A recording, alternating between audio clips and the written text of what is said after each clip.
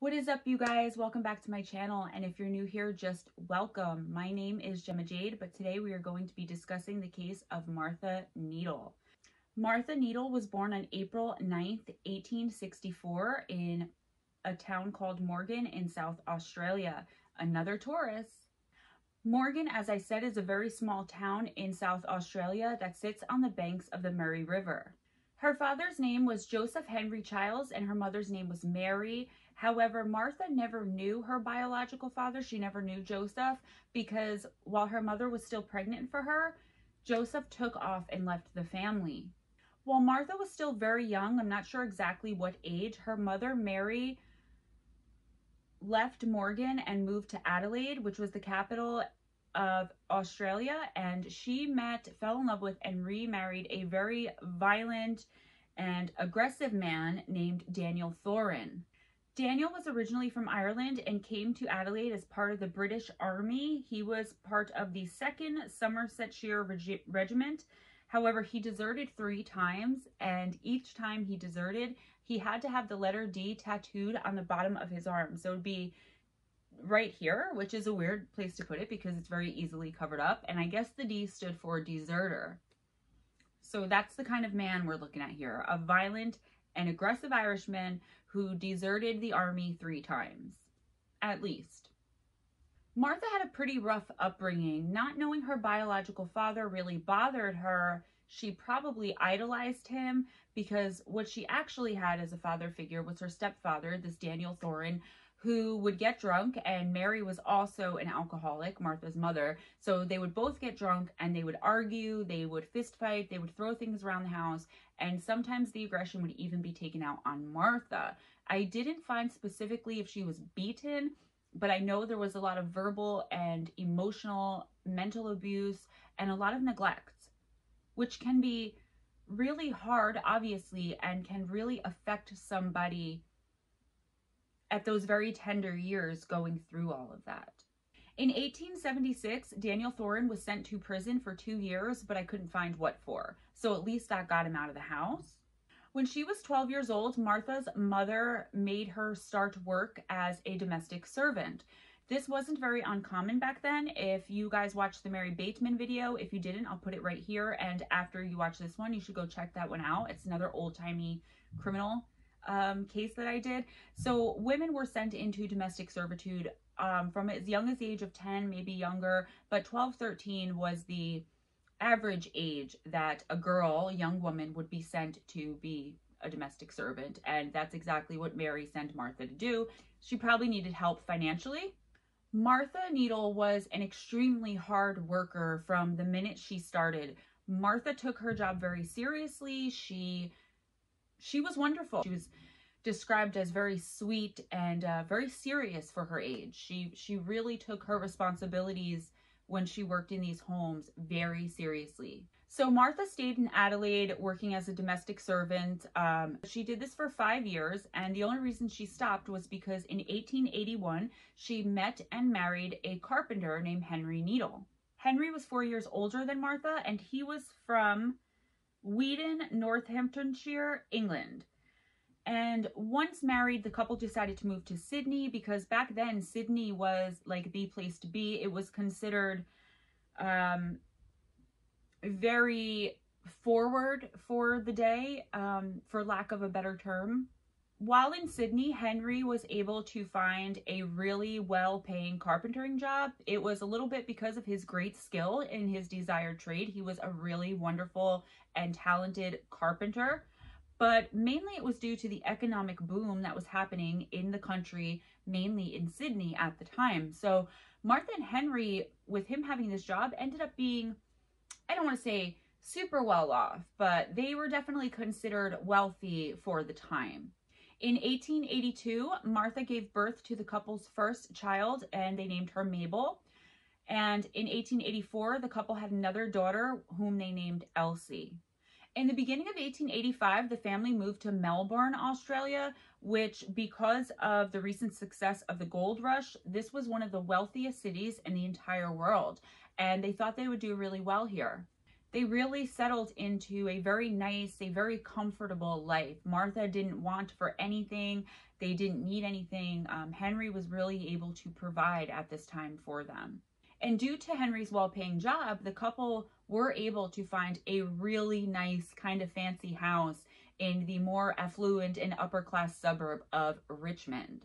Although she had come a very long way from her troubled and rough upbringing with her mother and stepfather, sometimes trouble and pain just can't be avoided no matter how good you have it, as Martha and her family would soon find out. Martha and Henry's eldest daughter Mabel became sick, and after a very brief illness, she actually passed away. The official cause of death was respiratory and cardiac bronchitis. Although Henry and friends and neighbors of, of Martha and the couple tried their best to do everything they could to comfort her, Martha could not be consoled. She fell into a deep depression over the death of her daughter Mabel, and she grieved and mourned for her daughter day in and day out for a really long time. Back in those days, people who were wealthy, as the Needles were considered to be, it was common for them to take out life insurance policies on every member of the family. And the Needles did get 100 pounds of life insurance for the death of Mabel, but it seemed to not affect Martha one way or the other. She was so overcome with her grief that it seemed to everyone around her she didn't even notice that they came into this great windfall. The reason people kind of noticed this not having an effect on her is because 100 pounds in 1885 was equivalent to about 12,934 pounds and 58 cents. Do you guys have cents? I'm sorry. So it was equal to almost 13,000 pounds today. But Martha didn't seem to care. She just wanted her daughter back. Mabel's death had an extremely negative effect on Martha and Henry's marriage, unfortunately, and it could have also been due to the fact that Henry had lost his job somehow. I don't know how, I did look, and he was having trouble finding a carpentering job that was paying him enough to keep up with this affluent and comfortable lifestyle that the family had become accustomed to. So the only place that he can find a job that would help him to make enough money to keep up with this lifestyle was in Sydney. But Martha didn't want to move there with little Elsie because she was happy in the neighborhood she was in. They loved the suburb of Richmond. They had this beautiful house. So Henry went to live in Sydney and work there and send the money back to Martha. So Martha and Elsie were able to remain in their home in Richmond and not have to disrupt their lives too much. I mean, that's probably a really bad idea when you lose a child and your marriage is struggling anyway to split up, but that's just my opinion. So after Henry did this, after he left to go to Sydney to work, Martha started going out a lot to the local bars and taverns and pubs, and she became quite a popular and most sought after woman. She was a woman about town. From the first night Henry moved out of the house, Martha went out drinking every single night, just bar hopping from pub to pub, from tavern to tavern, drinking, doing whatever, having a grand old time. Henry did occasionally come back to visit Martha and Elsie, but for the most part, he just sent money home to take care of them financially. However, he must have been coming back enough because in 1886, Martha gave birth to the, to the couple's third child, another daughter, whom they named May. Henry decided with the birth of May that he needed to move back to Richmond to be with his family. He didn't want to be separated from Martha anymore. He wanted them to get their marriage back on track. He wanted to be a family again. However, this seemed to have a less than desired, the complete opposite effect of what he was hoping um, this effect it had on their marriage. He thought it would bring them closer and they can get back to where they were before Mabel died, but it just didn't happen. Martha seemed to have at least emotionally checked out. Henry ended up becoming really sullen and withdrawn because Martha didn't for one second, like, she didn't skip a beat. She wasn't giving up her hard partying lifestyle. And Henry worked all day during the day at a carpentering job to support his family when he moved back to Richmond. And we know he wasn't making the same amount to keep up with their lifestyle. But this didn't matter to Martha. The minute he came through the door, Martha was out the door to keep up with keep up appearances. She was back to pub hopping. So Henry would work all day and then the minute he walked through the door, he would be taking care of toddler Elsie and infant May while Martha ran out getting drunk, partying with her friends and neighbors and possibly other men at these pubs and taverns. In 1889, Henry became very, very sick. Martha called Dr. George Hodgson, who was the same doctor who had tended to Mabel during her illness and eventual passing away. The doctor was really concerned about this because Henry was said to be very physically fit, very active, very health conscious, even for that day, kind of a man. And all of a sudden, like seemingly overnight, he was very sick, very weak. Martha did her very best to care for her sick husband. She stopped going out, she stopped partying, she was staying home with the kids. She was waiting on him, you know, hand and foot, day and night. But for some reason, and he never gave a specific reason for this, Henry refused to eat anything Martha prepared for him. Everyone thought it was strange, but he, like I said, he never said why. He just would not eat anything she prepared. Neighbors and friends had to come over and, and bring food. Over the next few months, this went on and on with Martha trying to care for Henry, Henry refusing to eat the food, Dr. Hodgson coming in and out trying different things. He was really stumped as to what was going on with Henry. And eventually, just a few months after he got sick, it, on October 4th in 1889, Henry passed away as well. Dr. Hodgson listed the official cause of death as subacute hepatitis and I wrote here, I think that's something like inflammation of the liver. I tried looking it up, but obviously I'm not a doctor and I could not understand the terminology used in the explanations of what I found on multiple sources. It was like not in lay terms.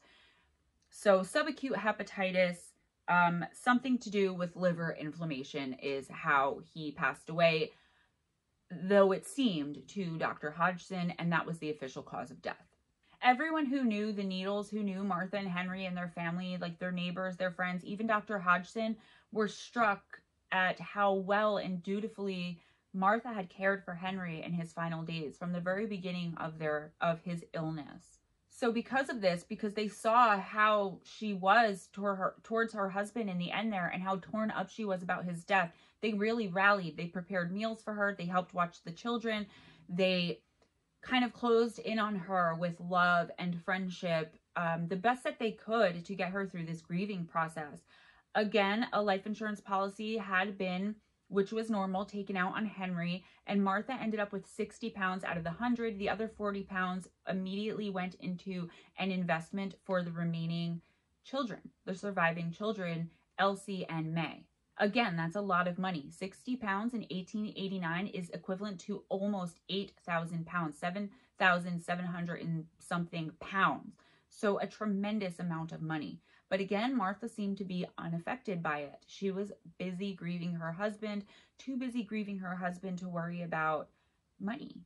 However, no matter how much love and attention and care she got from friends and neighbors and even her doctor, Martha seemed to be completely unable to escape tragedy for any significant length of time because just a little over a year after her husband Henry had passed away, Martha's eldest daughter now, Elsie, also suddenly became ill. On December 9th, 1890, Elsie passed away. Dr. Hodgson, the family doctor, was once again called to give the official death report, but he could not officially say what exactly had caused young Elsie to die, except to say that the conditions were very, very similar to, but not exactly the same as what had killed young Mabel. Martha again received 60 pounds that was taken out as life insurance on the young girl. Less than a year after the death of Elsie, the Needles' only surviving and youngest child, May, suddenly became very ill. Martha dutifully did everything she could, took care of, loved, catered to her youngest daughter as best she could, just had, as she had seemed to do for her husband and previous two children who had passed away. She was there day and night at her daughter's side, no partying, just grieving, mourning the loss of her other two daughters and her husband still, while trying to seemingly keep May alive. Again, Dr. Hodgson was in and out of the home constantly trying to help in any way he could, trying to figure out what was wrong with May because he really was trying his best not to have Martha have another tragedy in her life, not to have another child or loved one or family member pass away. But unfortunately, he just could not figure out what was ailing young May. Despite everyone, including Martha's best efforts, in August of 1891, May passed away, and Dr. Hodgson's listed her death as tubercular meningitis. So I looked that up, and it is inflammation of membranes around the brain or spinal cord. And that's just to put it really simply. That's the simplest explanation I found of tubercular meningitis. Martha again received 60 pounds. I don't know where the other 40 pounds went because there are no surviving children. I don't know if she received the other 80 pounds. I, I just don't know. But I know she received 60 pounds, another 60 pounds from life insurance from the death of May. In just six short years, Martha Needle had lost her entire family to illness all three of her daughters, Mabel, Elsie, and May, and her dear husband, Henry. Just six years, she lost her entire family. In 1892, Martha was offered a job as a domestic servant for two brothers who lived right there in Richmond, just a mile or two away from Martha Needle's home. She was kind of lonely, kind of floundering, getting sick of running out every single night. I mean, she had some money, but um, she did have a lifestyle to upkeep with her home and her fashion and all that kind of stuff. So she was actually very grateful for the offer and happily accepted it. The brothers' names were Otto and Louis Juncken, and Martha moved in with them right away. It seems their father had just recently passed away and left them a large sum of money that they used to start a business making and repairing equipment for horses. The Juncken brothers ran this business directly from their home. The brothers were new to the area. They had just moved there from a place called Lyndoch, South Australia, and I'll spell it up on the screen. Otto and Louis had another brother named Herman and a mother living in Adelaide. Martha stayed in the adjoining house to the Juncken brothers' house, so she was right on their property. That way she can kind of be at their beck and call and also do her job better because she would always be there for them. Um, they were two single, unmarried men, so they kind of needed a woman around, you know, as everyone thought back in those days, to do the wash and cook the meals and clean and blah, blah, blah, blah, blah, right? Um, and this was Martha, and she really enjoyed it. She obviously sold her house and she collected the money from that. So she was quite a little saver, Martha. Not very long at all after moving in to the adjoining property to the Juncken brothers and um, starting her domestic servitude to them, Martha and the brother Otto became engaged. They didn't just start dating, they actually became engaged like within months of meeting each other, of Martha starting to work for them. Brother Louis was not happy about this at all. And some of the reasons were he said Martha had an extremely violent temper and she was prone to these mood swings that would seemingly come out of nowhere where she would just become really aggressive and violent out of nowhere or she would become extremely sad um, and despondent all of the sudden. So he thought she was really unstable especially um, emotionally unstable. So it wasn't so much her as like a person that like he didn't think she was good enough for otto but he just thought she was very strange. She exhibited very strange behaviors and he really didn't want his brother getting involved in that. So he was very vocal about not supporting this engagement. Louis described Martha as irrational, and he said sometimes she would go out even in the middle of the night walking around, and when asked what she was doing, she would state that she was going to find her lost children. Obviously, this made no sense to anyone around her because everyone, including Martha, knew that her three daughters had passed away but she insisted they were out there somewhere and she was going to find them. Otto and Louis's mother also expressed her disapproval to Otto about the engagement to Martha for probably the exact same reasons that Louis disapproved. And Louis and their mother tried to put a lot of pressure on Otto to break off the engagement, but no matter how much pressure they tried to put on him, he could not be swayed. He was in love with Martha. She must have had some kind of hold on him. I don't know because he absolutely refused to break off the engagement. Despite all the tension in the air that must have been in this home, things went on as usual with the brothers working on building up their business and making money, and Martha actually staying in her position of domestic servant to the brothers, even though she was married, um, going to be marrying one of them. Though things went on business as usual, Louis never stopped pointing out Martha's erratic behavior, her violent temper tantrums to his brother Otto, trying to change his mind about marrying Martha.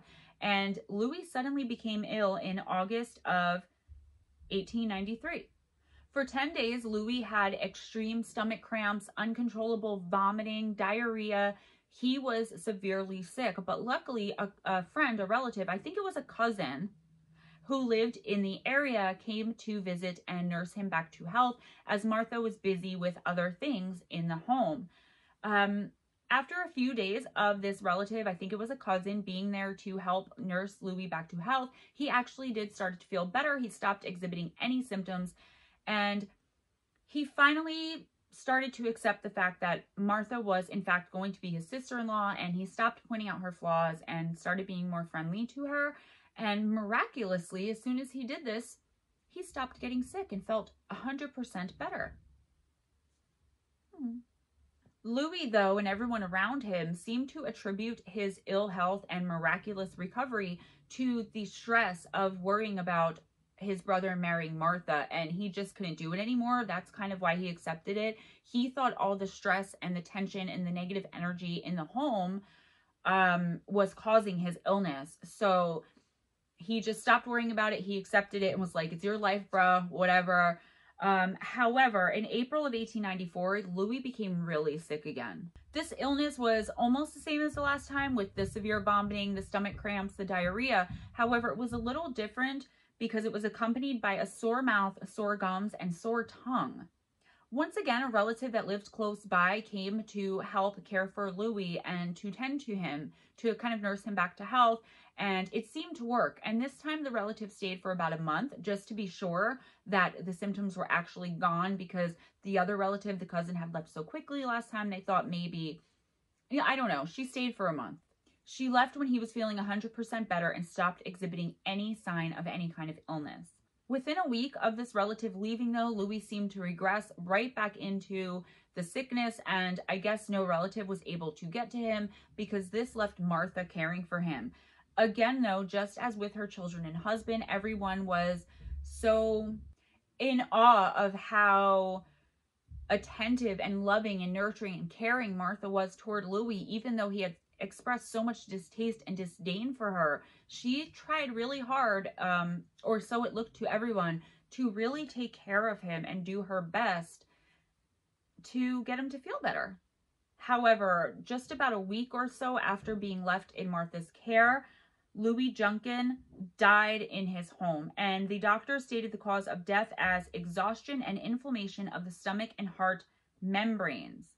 Upon his death, Louis and Otto's brother and their mother came to Richmond to stay in the home so that they can settle Louis' estate.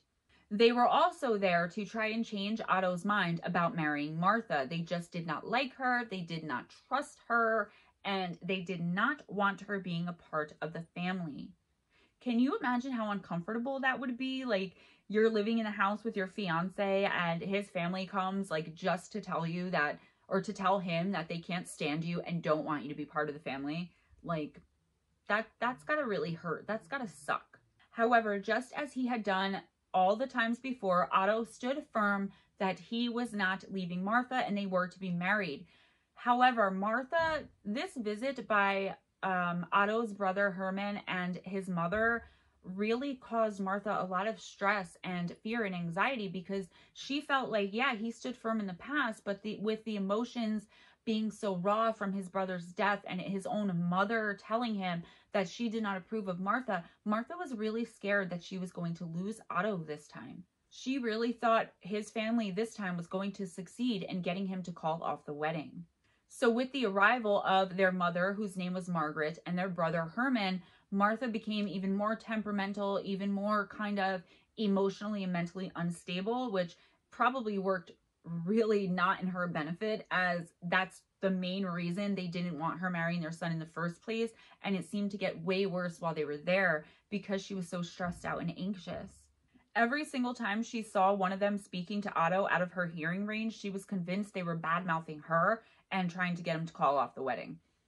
Despite all this, though, Martha did her very best to prove herself a good hostess, a good woman, a good addition to their family, um, someone that Otto should be with. She cooked, she cleaned, she prepared and served all the meals. She waited on Margaret and Herman and Otto hand and foot the entire time they were there.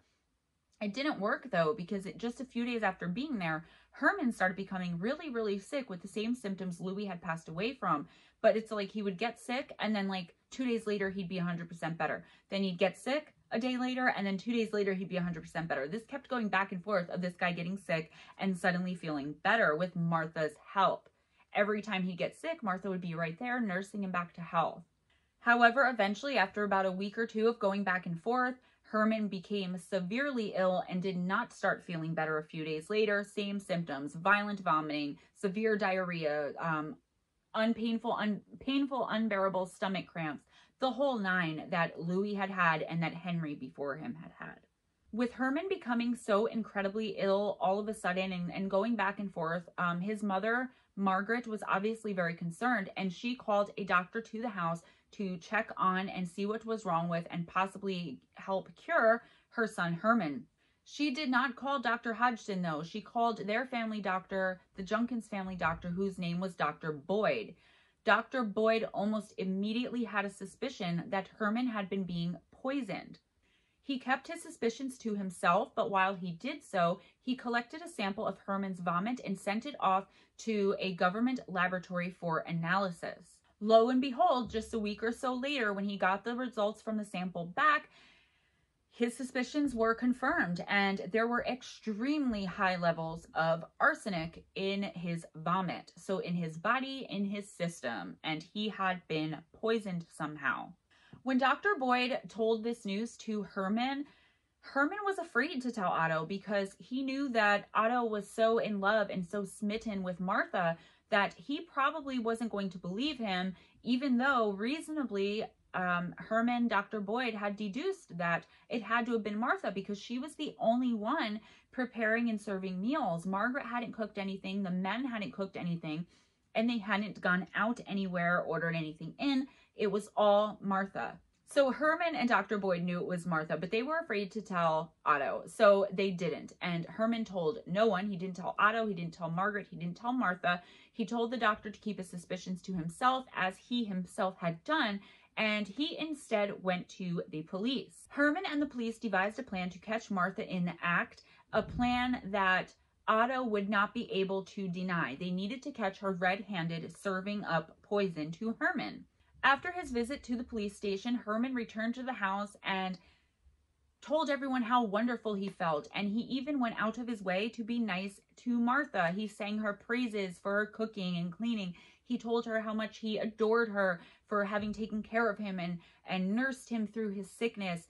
He went all out, really complimenting her and telling her welcome to the family, and he accepted her now, and all this stuff that Martha had seemingly been waiting to hear for all these months. So he really laid it on thick. He then asked Martha to make him a cup of tea. Martha cheerfully agreed. She couldn't believe her good luck that Herman was finally coming around to her being his sister-in-law and she wouldn't have to live in stress and fear and anxiety anymore of someone taking her fiance away. So she made him the cup of tea. As soon as Martha set the tea down on the table in front of Herman, he blew a whistle, and this was a signal for the police to come in.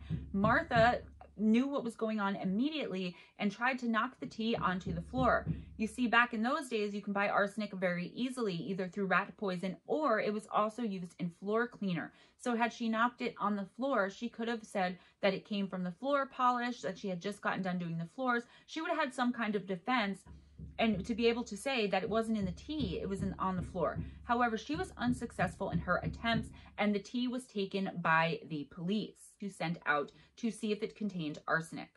Of course, when the results of the test came back, there were very high levels of arsenic in the tea that Martha was trying to get Herman to drink.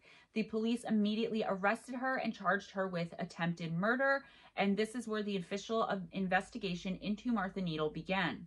So something I want to say before I get into the next part is I looked up arsenic and something interesting I found is two grains are enough to kill a human being and the cup of tea Martha was giving to Herman contained 10 grains.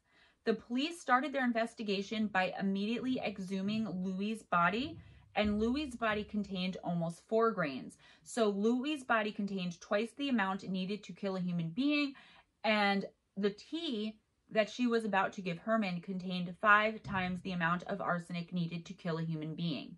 So she wasn't playing around when it came to Herman. I guess she was tired of him getting sick and feeling better all of the time. It's like, won't you just die? That's probably what she was thinking, not me.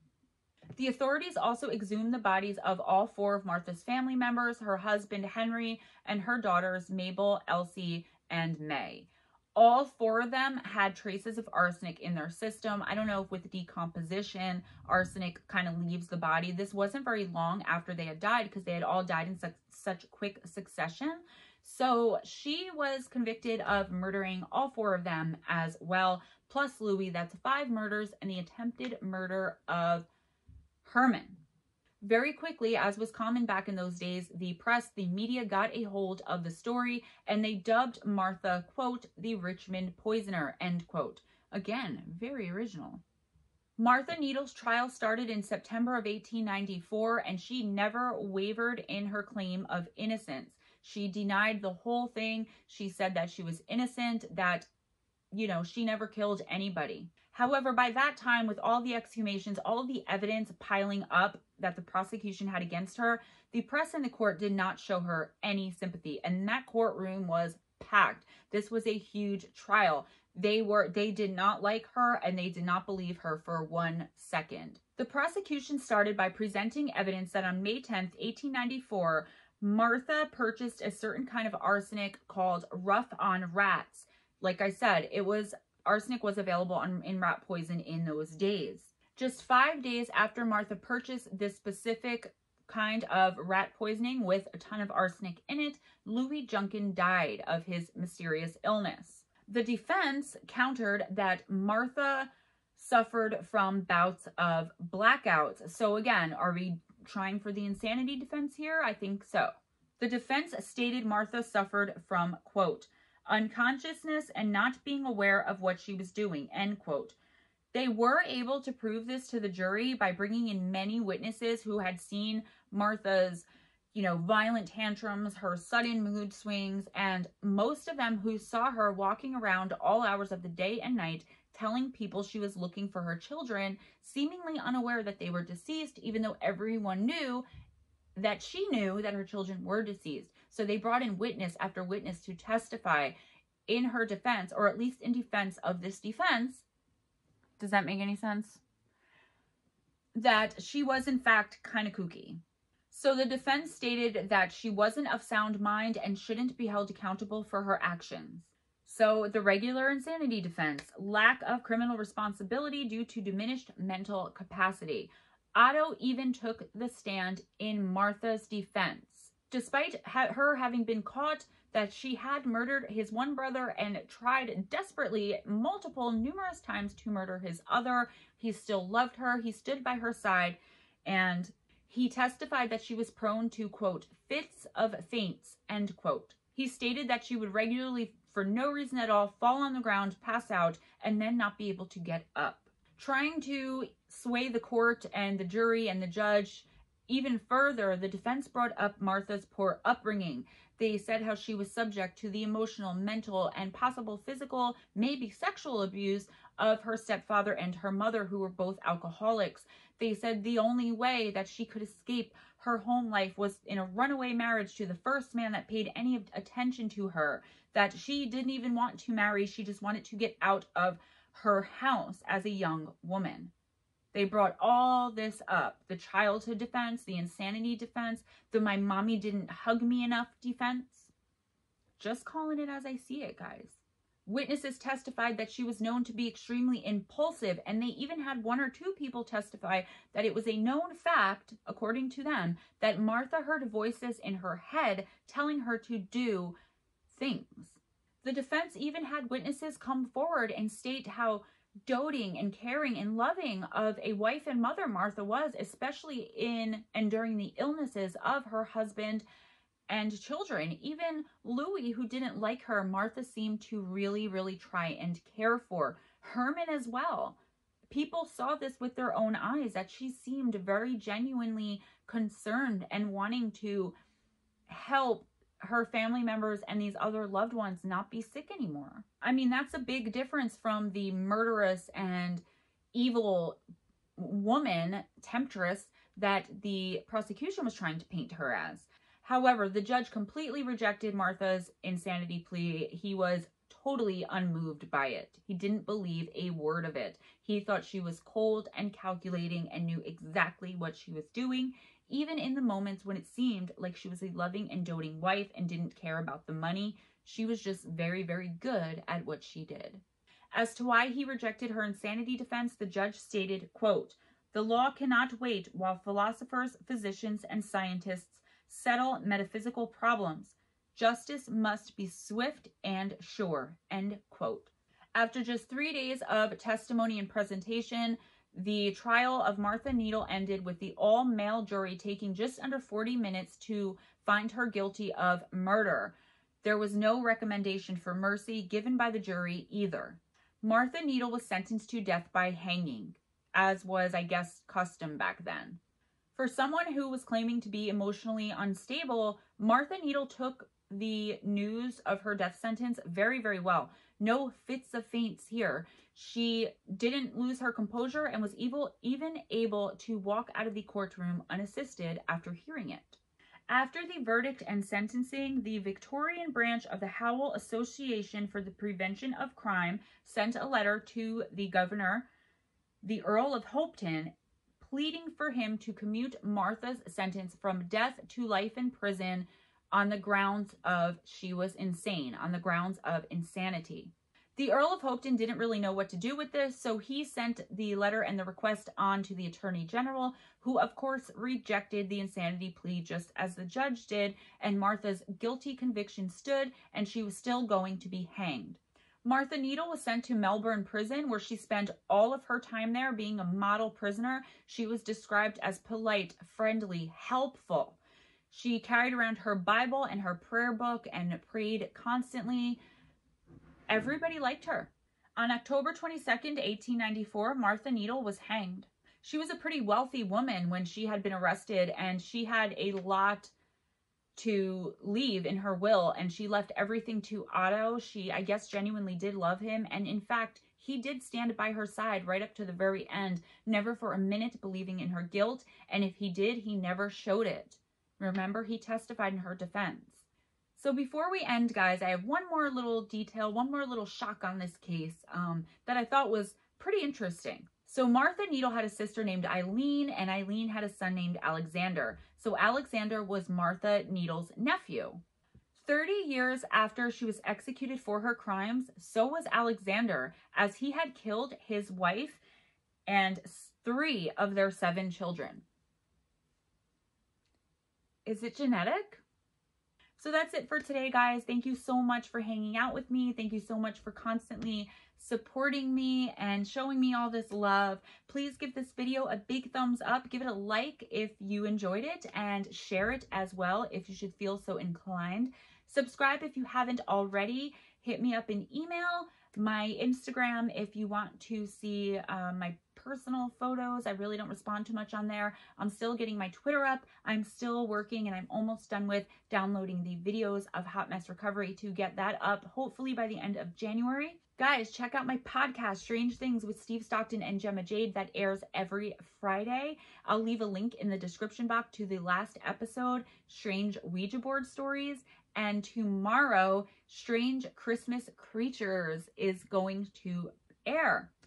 Um, we don't have many subscribers over there. So guys, please go check it out. We, I think this is our fourth episode and we could really use the support. I can really use the support. So the link will be in the description box. Also, my Patreon. I know it's the holidays. I know it's COVID 19, but if you guys can help and donate in any way to the channel so I can start researching more, um, having more time, having better equipment, it would really, really help me.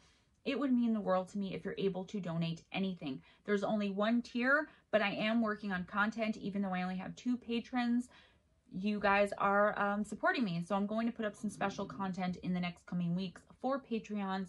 So the link to my Patreon will be in the description box. The money goes directly to me. I receive it immediately. Also, if you do not want to become Patreon or a patron, please click the link in the description box to donate to my PayPal if you should feel so inclined. That also comes directly to me. Sorry if I'm a little stuttery. I feel really uncomfortable talking about this, but this channel is not monetized. The podcast is not monetized. I'm doing all of this full time in my free time while taking care of a toddler. So if there's anything you can support me with financially, great. Click the Patreon, click the PayPal. If not, thank you so much for supporting me just by watching my videos, liking them, being a subscriber, sharing them, and hanging out with me. So, guys, have your best day, have your best night. Be kind to each other. It doesn't cost anything, and it can really gain you so much. Again, um, thanks for stopping by, and I'll see you in the comments. Bye.